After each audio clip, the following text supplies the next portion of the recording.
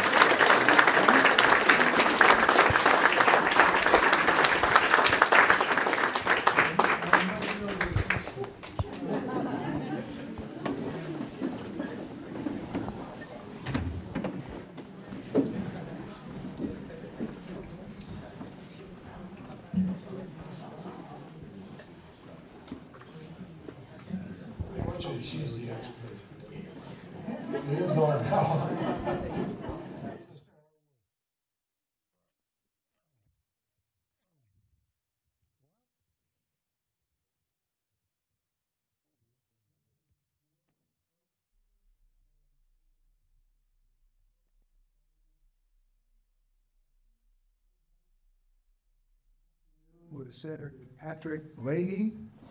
And I'd also like to welcome those that are watching on live streaming from our friends at Orca. I had an email this morning from an old Liberty Street neighbor, Norma, and Norma should be watching from Colorado, and we hope uh, many others watching around the country. I'd also like to introduce uh, some other Leahys that are here. Jane Leahy, the senator's sister-in-law. Mary Leahy, the senator's sister. Next older sister. And Marcelle Leahy, soulmate, spouse, and uh, co-conspirator for 61 years.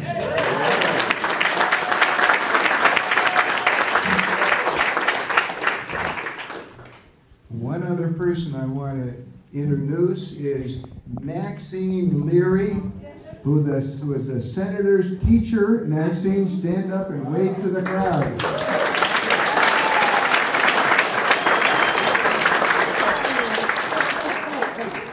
Chemistry and sociology.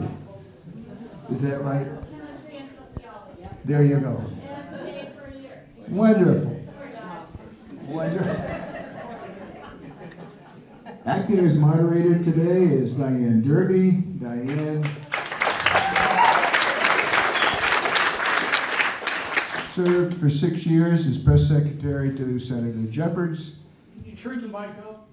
Sure. I guess I can talk louder. Yeah, talk louder. And uh, 10 years, and Diane served for 10 years for Senator Leahy as his local representative out of the Montpelier office. And we all know her now as senior editor at Vermont Digger. So we want to welcome Diane as our moderator. And uh,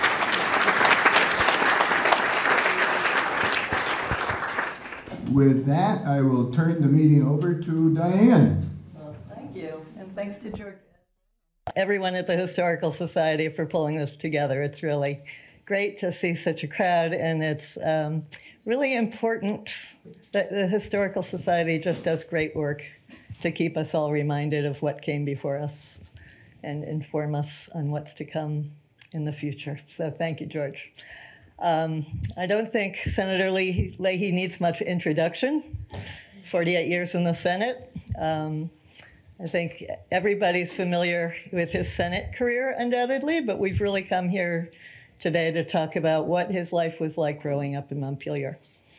And I know he doesn't need many prompts, but I've got a few prompts of my own here for him.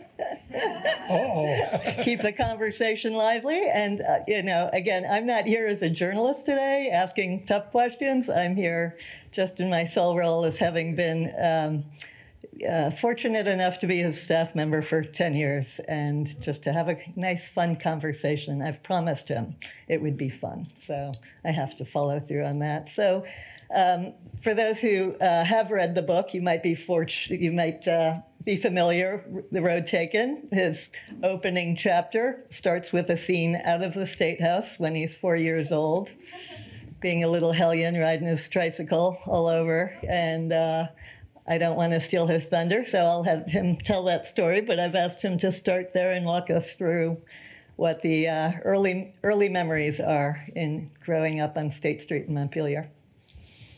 Well, thank you, Diane. George, thank you. Your uh, George Edson's parents were dear friends of my parents, and uh, it brings back memories just just seeing him and hearing hearing his voice. Uh, Mary and I and our late brother John grew up 136 State Street, and uh, almost diagonally across from the State House. So, you know, back in the days, you didn't even lock your doors. You walked around everywhere. Everybody knew everybody else. And one of my buddies and I decided, let's go explore the State House. We'd been there with my parents, but we had our tricycles and we went up and went in side door and nobody's around. So we dragged the tricycles up to the second floor and and uh, we're in a nice room. Found out later is the Senate chambers, and we said, "Let's race down the halls." So we race down the halls. Here's an open door. We go barreling through it, wham up against this desk, which was 27 feet high. At least it looked to us. And a man leans over and goes, "Yes." and we said, "Hi, are you the governor?" I am. Now get out. but he did give us some candy on the way out. And uh, Mary, uh, you can imagine the reaction of our parents. We got home and I was all excited and I told my parents about this. They did not see the humor in it. And uh, we weren't allowed to go in the state house without the adults around.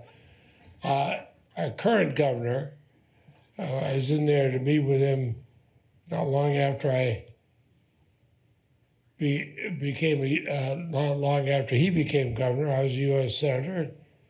I come in, he says, "It's a different desk, and don't bring your tricycle in here."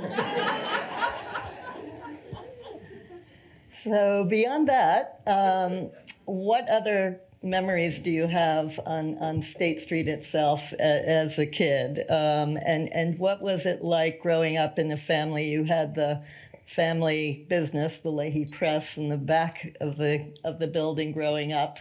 Um, maybe a few stories about Yeah, it, it was memories. interesting. We we rented out rooms to legislators. My, my mother did and helped with, with the bills, but then I'd hear all these stories when they were in the house, which was wonderful. We rented out another apartment upstairs. But you could walk through the kitchen door into the Leahy Press. And the beauty of that, I, I learned to read at a very early age. I, one of the most formative things in my life. Eh, Can you hear this okay back there? Yeah. I, I can never tell from here. Those formative things, I had my first library card at the Kellogg Hubbard before I was five, and that's because I started learned to read so so quickly in the uh, in the Leahy Press. We always had a constant stream. My parents had a constant stream of friends. We learned from them and hear all these stories and the history. Uh, my dad told the stories of the 27 flood and how he was there with his mother and his sister long before my parents had met and had moved up to the second floor of 136 State Street because the 27 flood was coming down State Street. The man uh, came up in a rowboat with a huge camera to the second floor. And dad opened the window, let the guy into the place, tied the tied the rowboat to the cast iron uh, uh, radiator, thank you, and uh, and helped him up onto the roof, passed up. The irony is, I have a book with me, and I was glancing through it on the way over here. Marcelle was driving, and there is a picture he took from that window. Wow. And you could see the house next door and what was the National Life Building, it's the state uh, office, but picture taken from up there. And, you know, you'd hear these stories, and then, of course, later on, we had Irene and that brought us from our home in Middlesex. The next day was a beautiful day, and flew around the state, saw everything was going on, and saw on the phone from the helicopter to Washington seeking aid for the and and I don't want to go too long, but I'll just close one thing. When this last flood came, and I'm watching on the news, and in buildings of different companies at the time, but buildings where I used to deliver newspapers, the Montpelier Argus, afternoon paper. I didn't want a morning paper. Uh, but where I delivered it, here the businesses in them destroyed. And I was literally in tears. I've never lost, even in the Senate and everywhere else we've lived, I've never really lost that feeling of growing up in Montpelier. Yeah. And And, and I went to high school at this building, as did my sister. She's much smarter, and and our brother, who was really smart. so we want to talk a little about how your early um, experiences shaped how you know your career in the Senate. And your father was a real historian, um, knew everything, told you stories of the state house. You met the governor when you were four years old. How did these early experiences kind of shape you to get you uh, involved in politics? Well, I learned a couple of things from my parents. You know, my father had to leave school about 12 or 13 years old when my grandfather was a stone carver in Barre, uh, Patrick J. Leahy, died, and dad had to go out and uh, support his mother and sister. And it was a different time. I've never forgotten the stories. There'd be signs that say no Irish need apply. Uh, or if you weren't smart enough to figure that out, said no Catholic need apply. And uh, but Dad became a, a, printer, and eventually one of the best in the area, and started his own printing business, Leahy Press, which is still there. But he regretted not being able to finish school, but he became a self-taught historian. He read everything. He had almost photographic memory of of history. He'd get the Sunday newspapers and just devour them and talk about it. And so much so that our kids, when they were in college and they had a history exam coming, they'd call, let's call Grandpa Leahy and double check these, these answers. And that, that influenced me so much. Uh, now, my Italian mother, uh, my our grandparents immigrated to Vermont from Italy. She was born here, grew up speaking Italian, and that certainly influenced a feeling of diversity and, and why you need it. But the history, uh, and probably the thing, without going too far off here, cherished the most, and my parents lived for a number of years after I got elected to the Senate and I could bring them to all these places that they'd read about. And uh, I remember my dad holding handwritten notes, not copies, but the real ones that Abraham Lincoln had written down uh, in the archives in Washington. That was that was a joy, and but all the way through, I always felt I was kind of paying back what I had because Montpelier you could walk everywhere, you could go anywhere. Half the time we leave our bicycles on the porch, and um, it was a different world. People helped each other. As I drove down here, I think of where, where the fires were, uh, and Diane, I can't tell you when you called me to tell me about the fires, how choked up I got hearing that. But some of the buildings along here, I can remember my parents going to the grocery store, and the kids would be in the car. We'd pull up to obviously an area where people of limited means were living, and my dad opening the trunk, taking a bag of groceries up to the second floor, rickety stairways outside, knocking on the door. People would come to the door and hand him the groceries. And they'd say thank you, and he'd leave and get back in the car. Never told us who the people were. Uh, he just said, if people were in need, help them. And uh, it, uh, it it meant a lot. You touched a little bit on your library card at the age of four. yeah. Um, maybe you also talk in your book a little bit about being in the supermarket, looking at comic books. You had only sight in one eye, and so reading became your passion. And maybe tell us a little bit about what did the Kellogg Hubbard Library look like when you were a four-year-old? I know the Leahy wing wasn't built yet, so we can save that. No, I, for- I, I- couldn't do that. I couldn't do that at the age of four. But uh, I was born basically blind in one eye. It's like you had severe macular degeneration one, one eye. So sports are a difficult thing because of lack of depth perception.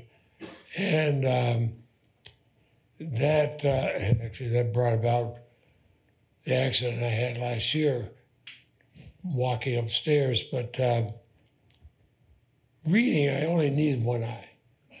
And we had a, and here's why individuals are important. I don't know, do any of you remember Mrs. Holbrook? Okay, I see a few hands go. Good, thank you. I'm not that old. But Mrs. Holbrook was the librarian. The library was in the basement, and it was very, very small. But and I went to St. Michael's grade school up on the top of the hill. I'd walk down the hill, go in the library. She said, Well, Patrick, did you read the book you had a few days ago? Yes, I did, Miss Holbrook. Tell me about it. And I, I would tell her. She said, Good. Now here's one by Mark Twain you might want to read or something. And I was, you know, like first, second grade.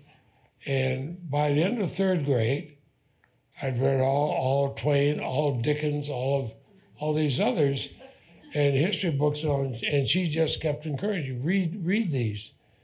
And it was so enjoyable. And I know that when one of the floods here in Montpelier, when that was still there, people showed up from around the city, just ran in and grabbed all the books they could off the shelves, just ran out, threw them in their cars, and uh, to save them, otherwise they'd be destroyed. Flood was over, they brought out every single book came back, plus about 20% more. Uh, now, when I I've always felt that that was one of the most important things in my life. And my parents encouraged me to read. Um, it, after I got in the Senate, and I, I couldn't forget about that place. So I, the nice thing about being on appropriations committee, you get to determine where money goes. And they now have a beautiful new wing for the children's library. Uh, and well, I commend the architects everybody else who put wood and stone, mold them together. But you can be somebody who has a reading problem or somebody who's reading several grades ahead of themselves, and they have programs for you. Our grandchildren when they had come up to the farm during the summer, they would just go down. First thing they'd go down there, load up on books, and uh, we'd bring them back. We've uh, got at least one six-year-old in the audience who wants to hear a little about your Batman history.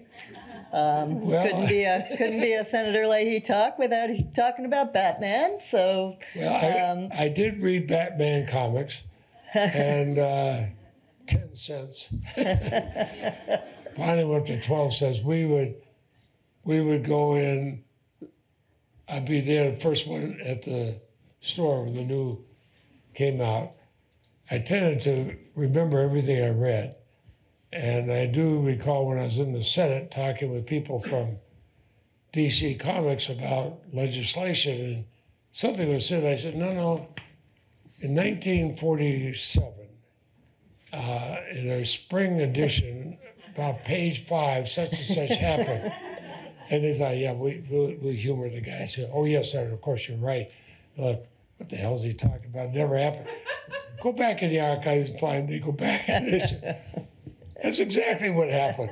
And uh, one thing led to another. I uh, worked with them on a very powerful, it's become a collector's item, Batman comic because I was trying to um, ban the export of landmines from the U.S. No country had done that. And when I started off, we I could count about 12 votes in the Senate. Among the things we used was this Batman comic book, and several of us worked on it, including debating for two days the ending. It's a short story. Somebody worked for Wayne Industry in a combat area, parents killed, little girl was captured. Batman went and saved her. In the last panel, helicopter's coming to pick him up, and she said, Look at the shiny toy. And he said, No, and then boom, and she's destroyed. And the reason we debated on that, and I went to every single senator across the political spectrum. I said, read that. And they said, okay, just leave us alone, we'll read it. And they said, that's a terrible ending. I said, there are no good endings in landmines. Marcelle's a medical surgical nurse. She's been in war zones and in the uh, operating rooms and in the surgery places where they're having to uh, reamputate and to put prosthetics. So there's nothing happy. It's mostly civilians. And we passed the ban 100 to 0. The only controversial bill for 10 years. So I like I like Batman. and and the, the kids seemed to like it. I, I did reading hour. Uh, I, I, volunteered reading hour one day, which was easy to come from our home Middlesex on a Saturday, jeans and sweatshirt, and somebody hands me a note that Batman enemies had their pictures in the library. I could not figure out the clues. I, I need help. I grab my phone. Are you nearby? Door opens and bursts smoke. In walks Batman. And you can imagine these four, five, six year olds. well, anyway, long story short, he couldn't figure out the clues, but the children did. And on the way out, he says, I want to thank you, children. you're, you're welcome, Mr. Batman. it was fun.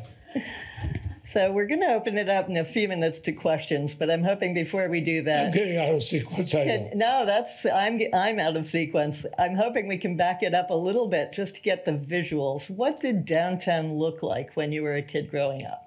I, I talked to Mary a little bit in preparation, and she told me a little bit about the two supermarkets in town, the two competing downtown supermarkets, and um, Yeah, I worked in then one. they, you worked in one, and and I was a meat cutter.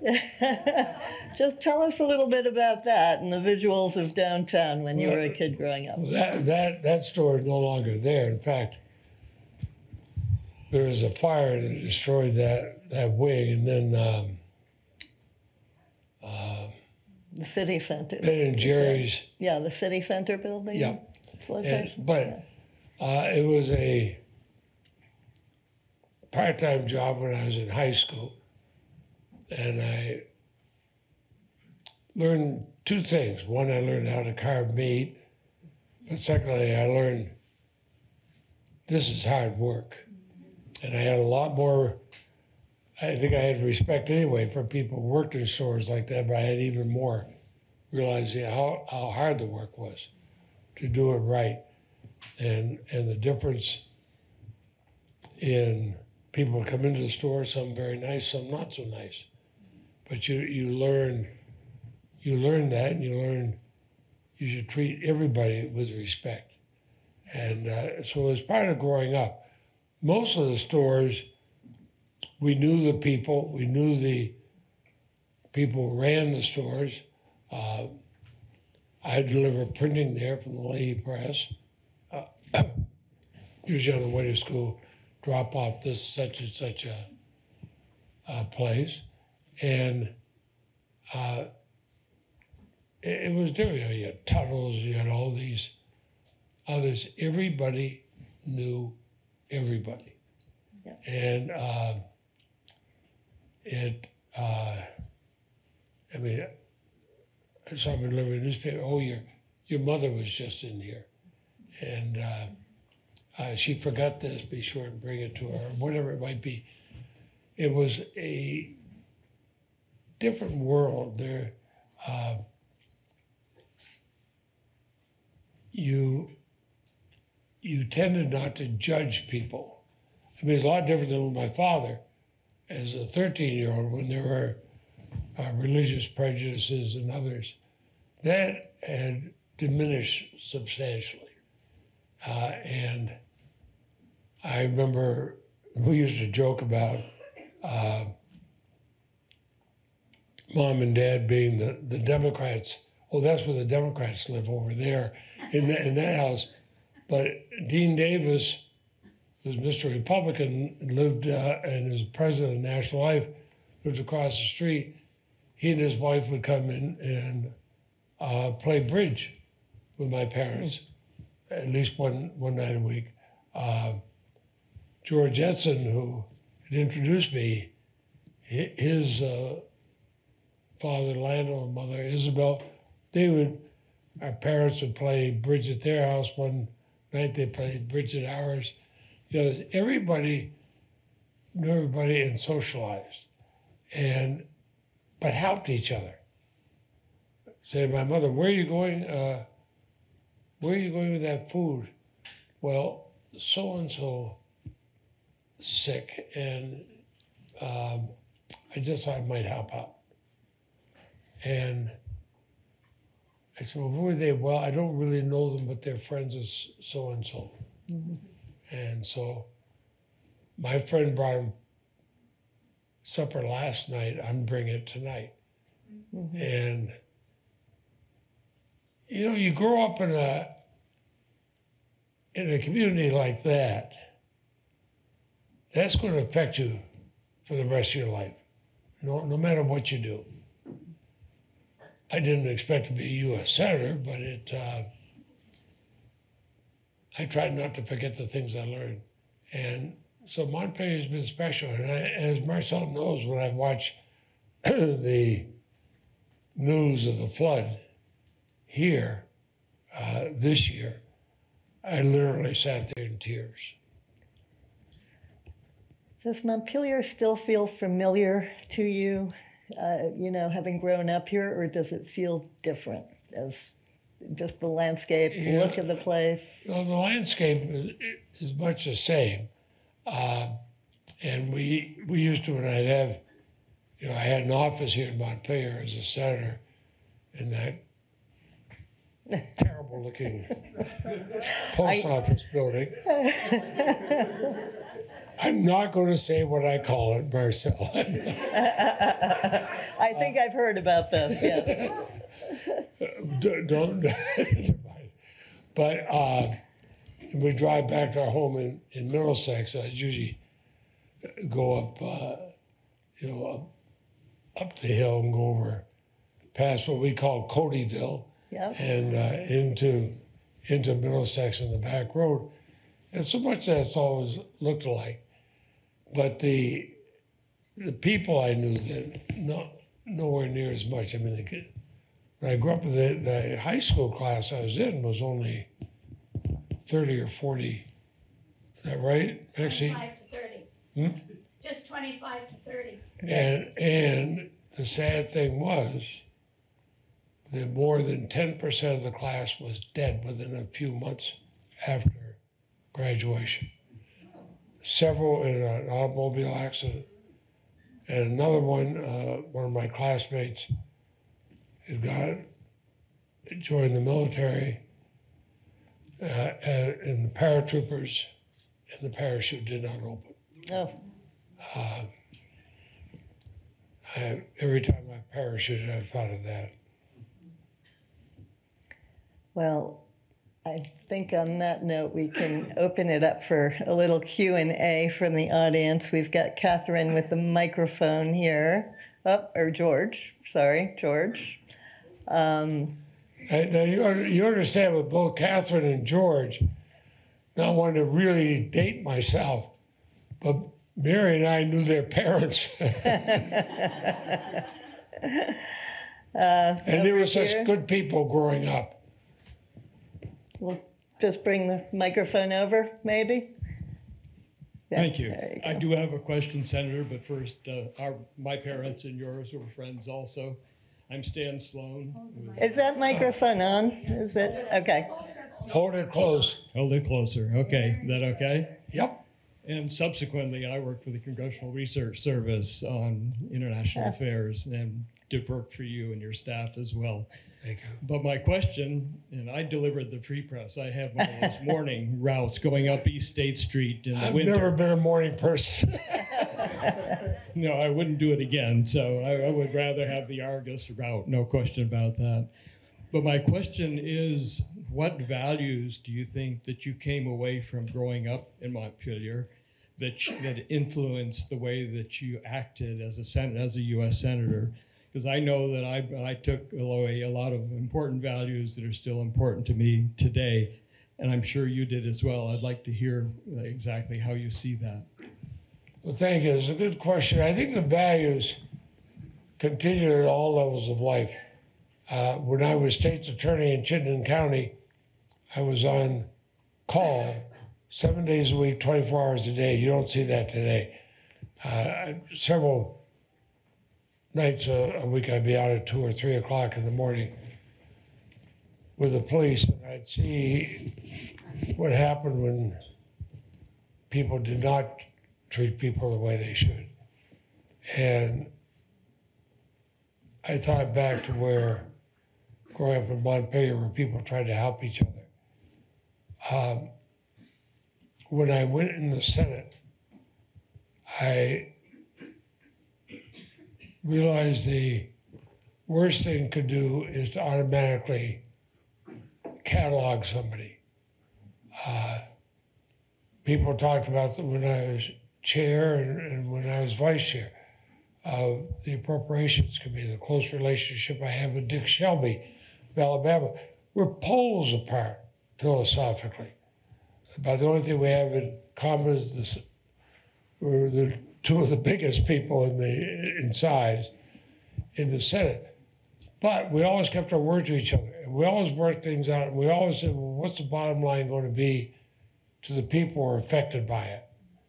And uh, we were talking about this just the other night, Marcelle, when I when I called Dick, just to check on how his wife was doing. It. Um, so I think these are the things I learned. I try to carry with me, and the fact that it came from a, a small town. Uh, people would call us by our first name. They uh, would say, "Oh, great to see you." I saw your sister last week, or I uh, saw your cousin, or whatever it might be. And you realize this is real life. Maybe the best way to answer it, I grew up in a real life. Some of the people, and this is why there's been such deterioration in the Senate and especially in the House of Representatives. People grown up in a make believe, go for the that moment's headline life. And that's not, that's not America. Did you feel the same way about? Sorry. Did you feel the same way about growing up? I do. I, I feel uh, I grew up with a sense of community. Grab the mic, okay? Thanks. Okay.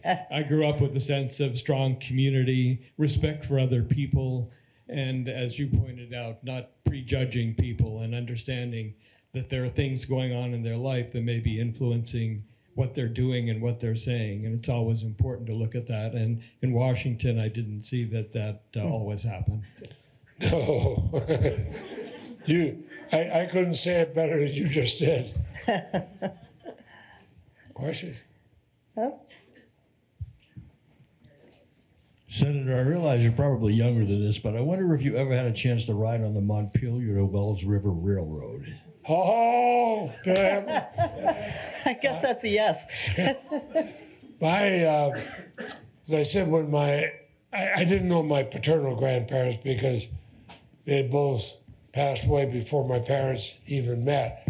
But my maternal grandparents immigrated from Italy, and we still have a lot of relatives there. And settled in South Ryegate. My grandfather was a stone carver, and he and his brother uh, started the Zambon stone shed. And as kids, we'd sometimes go over uh, to visit our um, uh, grandparents for a few days.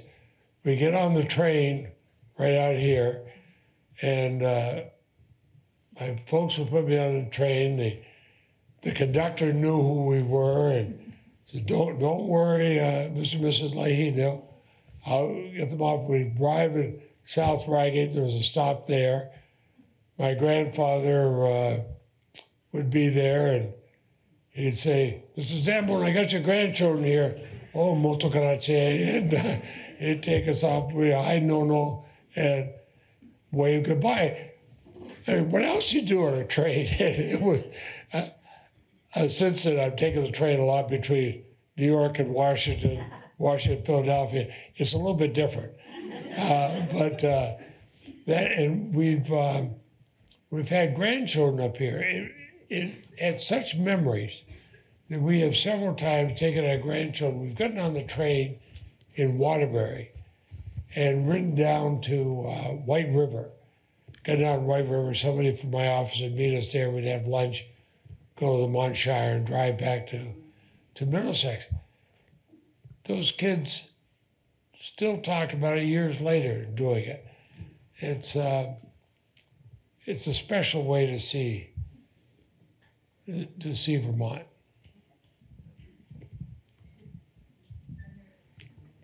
Dawn, yes. Thank you for being here. Um, I imagine that being a senator might be a little stressful. And I wonder, Just talk. I'm Patty Casey. Um, I'm just wondering what you do to take care of yourself to stay so vigorous. I'm fortunate that I married way above myself. Uh, I married a compassionate, intelligent, wonderful registered nurse. We had to wait until she finished nursing school before we could get married because somebody had to have a job.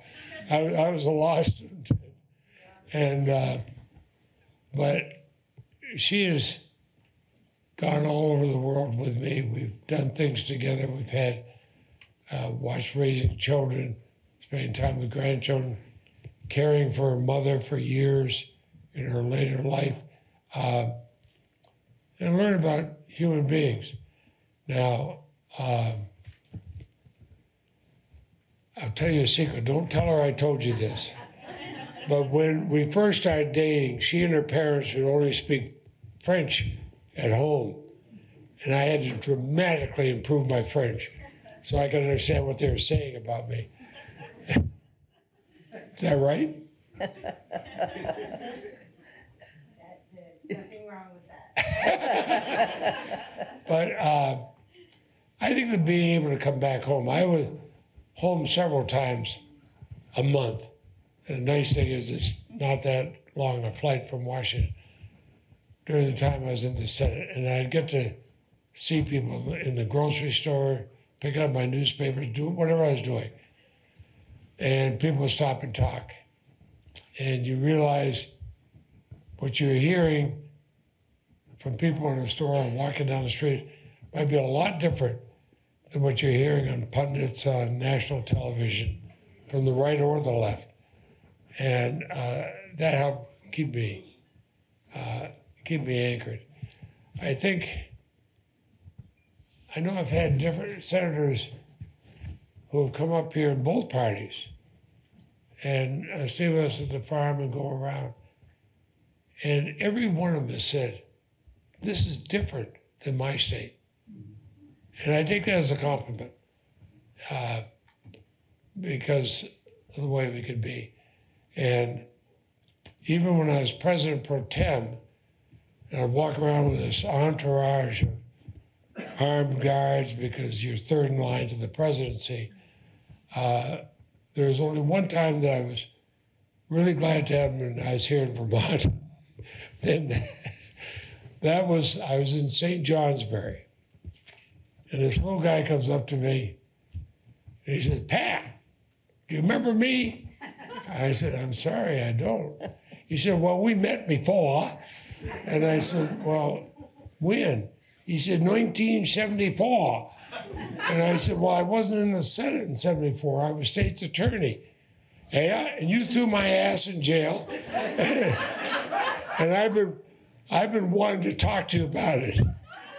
Now I had an airplane to catch. We're in St. Johnsbury, even with these guys, with their police guys. I said, I got to catch a plane. No, he said, I've been meaning to talk to you. I'm Thinking, if this guy's been meaning to talk to me for 40 years, I don't want to talk to him. And one of the agents who's a lot taller than I am leans over, says, Why don't you talk with me? I got to, I have no idea. But I, I felt like saying, You weren't the only person I prosecuted. I was there for eight years. I'll also just add this quick addition to that. I think you wake up very early in the morning and read every local paper in the state of Vermont, even when he was in DC, because I'd call him in the morning with some news because I was his eyes and ears for Montpelier for many years. And he'd already know it. There was nothing I could tell this man that he hadn't already read by seven in the morning. So that kept him young, I think. I think Digger and Seven Days is so good at getting stuff out, and and, and the other newspapers I can read online. Uh, I think local news is very important. And it's diminishing because of the cost and everything else. And you lose on that. Um, when, and I think it's maybe that's one of the effects it's having in, in the Senate and the House. That they're interested in what's going to be on that 30 second bite somewhere in national news. Hi, Yeah. Senator. Uh, Can you hear me? Yep. Okay. Um, My grandparents were sort of on different. Hold the microphone Hold a little bit close closer. My grandparents were on different sides of the aisle during the strikes in Barre. My grandfather was the comptroller for the Rock of Ages. My grandmother was the cousin of the socialist mayor in Barre. Oh boy, that must have been fun at home. Well, they seem to get on okay despite all that. And I'm just sort of wondering if you have any memories of that time. The other thing I remember is like I grew I grew up more in New York, sort of back and forth between New York and Vermont. But in Vermont, there was a big competition between Barre and Montpelier. Montpelier was bad and Barre was good. that, that- that's how I understood it. And so anything you want to comment on, Well, the strikes, the strikes were before my time, but I do know that you go through one of the cemeteries in Barre, and you see a tombstone with Patrick J. Leahy on it. Now, some of my opponents have said, "Damn, wrong one," but uh, uh, my that was my grand grandfather. My father was born in Barre, and uh, we always had friends in Barre and, Montpelier. Uh, my grand my Italian grandfather would come to Barre and meet with a lot of his friends for um, they'd have lunch one of of the restaurants. I forgot what it was, but I was about six or seven years old. He'd bring me with him, and they'd be going in Italian, French, English, and I just sat there and listened to him. And um, I had a lot of classmates here at St. Michael's who came here from Barre. So I, I never felt the uh, animosity between Barre and, and Montpelier. And I, and I could never understand it when I have been told about it. Yep. Thank you. Hello, Senator. My name is Liz Dodd, and I've moved here from Washington, D.C. about 42 years ago. and my husband was Tom Dodd, and we've spoken about this before. And Tom was with WDEV, and he was a reporter for WDEV Yep. for many years. But I wonder now, given everything that this wonderful community has been through in the last few ye- in the last year, particularly in the last few months, what advice you have that you, in the wonderful career that you have and the wonderful giving person you are, any advice that you have about how we might best get through what we have to deal with in coming through where we're at now? Any suggestions? Uh, of course, WDEV we knew well because Leahy Press did the printing for WDEV. And Lloyd Squier, as a little kid, I knew Lloyd Squier and his wife would come into their uh, house in Waterbury. She'd be making cookies or donuts. And as kids, we thought, boy, that's really, that, that radio station is important. We're getting hot, hot cookies here. But um, uh, we sometimes forget how small our state is. And there's some trends that bother me. Our graduation rate from high school is diminishing. Too many of our young people are leaving the state, and we are, uh, the ages, the average age is going up. Uh, I worry about those who say, well, do we want to bring this business or not? We want to bring businesses that require an educated workforce and then make sure we have the education and we push for it. We've seen this in some of the uh, uh, places like in Essex Junction. I, I know some people are worried that they might want too much parking for this. Um, electric airplane, electric helicopter they're making in Burlington. I look at the, what they're paying the people who have to have all kinds of education to get in there, and I'm thinking, build a parking lot if you want. You need these people. They're the ones going to buy homes. They're the ones who are going to raise their children. Uh, we have got to have more emphasis on the education of our young younger people. And but then we've got to have the jobs that appeal to them. Uh, there will always be minimum wage jobs. I understand that, but we've got to have something we can hold out to them and say, "You graduated from high school, you learn this. Maybe you go to a trade school, whatever you do, or to college. We'll find ways to pay for it, but there'll be jobs available, and jobs in Vermont. If we don't, I worry about Vermont."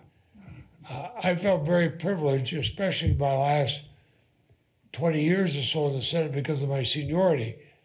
Uh, we could get money for things. When COVID hit, I remember calling the governor and saying, I put in a small extra appropriations under the Leahy small state minimum. He said, Oh, how much? I said, a billion, five hundred million. There was a pause. He said, You say billion? Well, I said, Don't forget the 500 million also. He- he said, How'd you do that? It helps to be chair of the committee. But the, uh, but I, I wanted to do that because we could have been devastated with COVID. We could have been devastated the next generation. We could be devastated generation my age. I mean, I was going to have fine medical care. Marcelle going to have a lot of people in Vermont were not. And we wanted to get that money out here and protect our state. But then we have got to encourage the younger generation that there will be things here for them and work to have jobs for them and work to have things they can do. uh, Global Foundries in Essex Junction. I, I was concerned when people, some people opposed legislation to fund them. Where do you want to build these chips? In China? I want to build them here in the United States. And if we're going to build them in the United States, let's do it staged alphabetically, starting with V E R M O N T. Uh, Senator Leahy, I'm curious. Uh, George Edson here is one uh, is kind of our MC, and I'm wondering if you have any reflections or remembrances of his father's Landell's uh, C.H. Cross Bakery. Oh, I do. I, I also delivered newspapers there, and uh, I love the smell of, of coming in, and I would get uh, the Diarthes, Norman Diarthes worked there, and others. But I'd come in and uh, and talk, deliver the newspapers. I remember fresh food. We when you grow up with an Italian mother, you like you get used to home baked things, and this was uh, cross baking was as close to home bake as we could. But I also saw the pride the people took in in, in the uh, uh, in cross baking, and I think um, George, I think your father really instilled that in them and encouraged them in that. So I, it's the kind of thing that made Montpelier special. Patrick, I have a question. Uh, tell us about your neighborhood. Uh, what did you do as kids, and do you remember the Montpelier curfew? I remember that. Eep, eep. You knew when the curfew was. And what was it? T- ten minutes of nine or ten minutes of nine? How's that for memory? uh, but um, the curfew was suggested, recommended. uh, but I think our parents liked it because told us to get home. We had friends. State Street did not have many families on around where we were. Uh, our friends were up the hill or other places, and uh, it reminded us to come home for our friends' houses or for them to go home from uh, from ours. Uh, sister with Barbsy Diarthony and others would, you know, you, but you get used to play with it. Well, in fact, down the street from us, on the other side of the street, was a big open lot. Um, they had a, a softball diamond there. Uh, people would, would play uh, all kinds of sports there, run. We'd go up, a lot of us would go up to Hubbard Park. We'd climb up, behind, walk up behind the State House, go on up.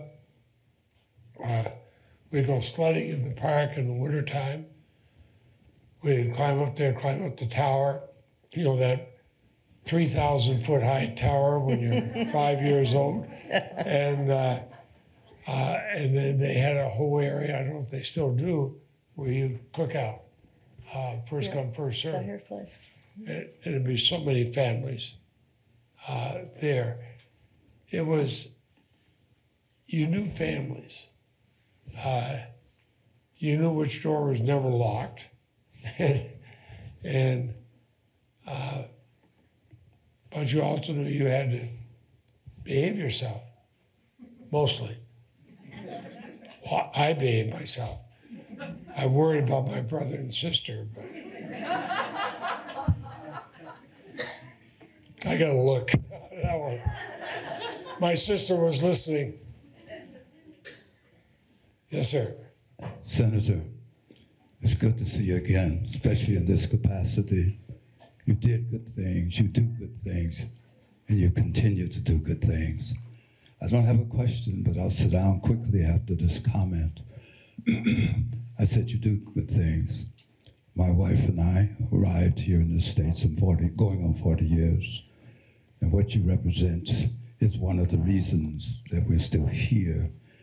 I said you do good things. Fact is, uh, in church this morning, the pastor kept saying, Thank you, God, thank you, God, thank you, God. I don't think God uh, would mind if I said, Thank you, Senator, thank you, Senator, thank you, Senator. And as I close, I'm looking around as I hear you talk about values from human values, family values, vision. And as I look around here, I see one or two youngsters. And it is good that they're hearing you.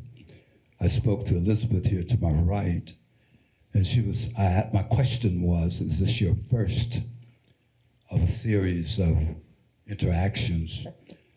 I don't know.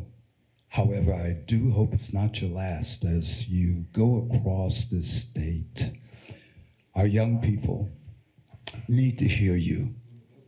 You're an icon, or do you want to call it, a, mo- a role model, etc. You and the Mrs. Senator, okay? That's factual. They need to hear that. I read about your being here today in the seven days. And I said, I'm going to be wearing a suit tomorrow because I'm going to church. And afterwards, I'm going to keep on that suit because I'm going to hear person who continues to make a difference in our society, in our human family. Our kids need to hear that. I'm active, that is, I participate very actively in our school board meeting there in, Frank, in Fairfax. And the adults, some of the adults who come, bring some very negative and provocative stuff. And I've heard more than one student at that school shush some of the adults because the adults are not bringing some, a percentage, but a distinct percentage, are bringing verbiage that's not good, either for the students or our teachers or administrators, etc. Again, I say, the body, us as a state, to say nothing about the nation and foreign stuff, needs people like you to be. You're doing good things. You'll do more. There's a scripture that says in gospel that we are expected to do more and greater things. Your presence encourages people to do that. Your profile encourages people to the reality that it can be done. And I thank you again. Thank you, thank you, thank you.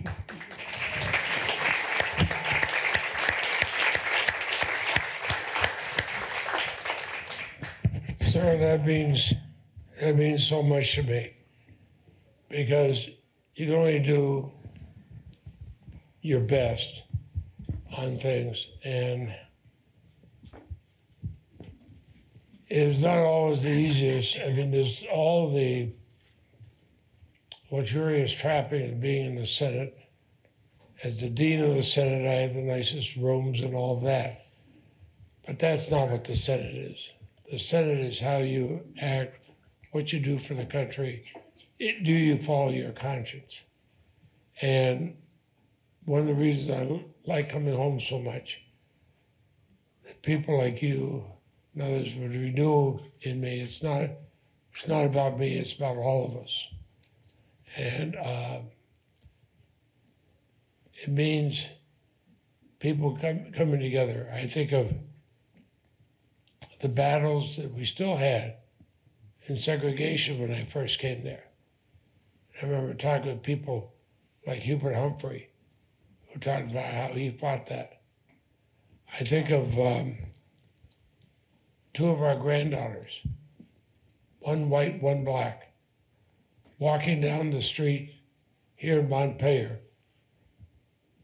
The white granddaughter lives here. She was asked, Well, who's this? She said, My sister.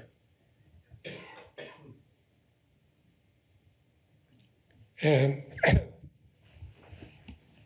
I don't think I could have done 48 years or done the things I'm most proud of if I couldn't come back to Vermont. And my son and I talked about this when few years ago, we basically make up our mind not to run again, even though I knew I could be reelected. That we wanted to come back here. Uh, we were both born in Vermont. Our roots are here. We believe in Vermont values. And so we came back. And uh, the reasons for coming back, we see every time we're going to the grocery store, walking down the street uh, to, to get a paper or whatever we're doing. We run into people and we hear it at all ages, all, all in, income levels, all everything. And we just hear the reasons why we come here, including people who agree or disagree with me on, on issues. We can at least discuss it. And I watch how the House and Senate have degenerated. Uh, people forgetting they have an oath to the Constitution. They have an oath to respect all of us, and they're not. They're respecting their own individual uh, advancement or whatever else. And that's wrong.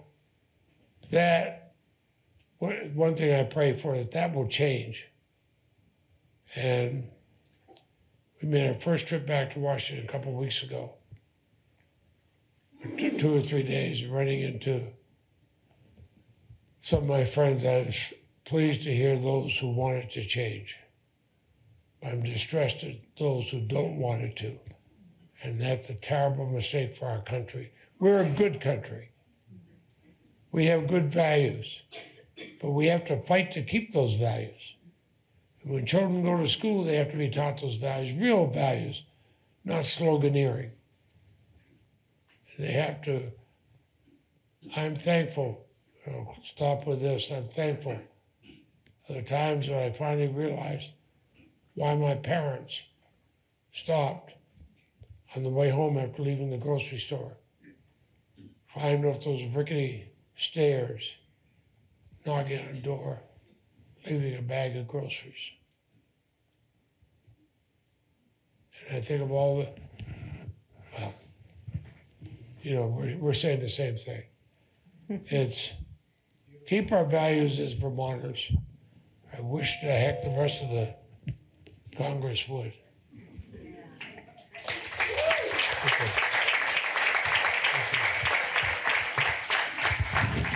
And your teacher's going to get the final word.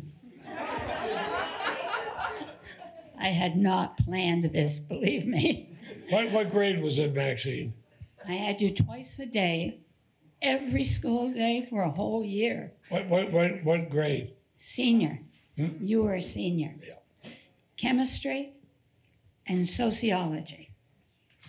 And why you are still here after that chemistry class, I do not know. I decided not to become a chemist. What I knew about chemistry was mighty little, but I was one of the Sisters of Mercy, and you went and taught what you were told to go teach. And you were the first class I had for chemistry. and it's a miracle, and I'm not religious anymore, but it's a miracle you're here. Well, it's a miracle this building is still here because we didn't blow it up. That's right. That's right. I want to ask you do you have any good memories of your time in this building? And this, of course, was the gymnasium without that ceiling. Yeah.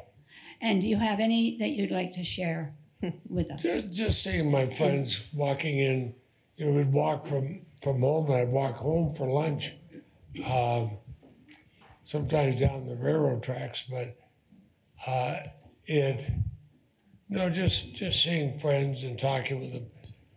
I didn't spend that much time in gymnasium because with my lack of depth perception, I wasn't any good at. The, although I did have one fun with this thing. We had, oh, what was the coach's name? Sheridan? Yes. uh, and Roger Sheridan, my, Mary just reminded. Roger Sheridan was a good sized person. And they named me, I was over six feet tall by the time I was a freshman in high school. and they named me the manager of the team. So Coach Sheridan and I would drive to a town we probably hadn't played before, but go there to set things up. And we'd walk in and everybody would look at me and say, What position do you play? I said, I was too short to make the team. I know it's a little bit of a lie, bless me, Father, uh, but it sure had an effect on me. Okay. Thank you all for coming. Thank you, Senator Leahy. Thank you, Diane Turley. Yeah, I, I want to thank Diane because Diane has worked hard on this, so thank you all. This, uh, this, this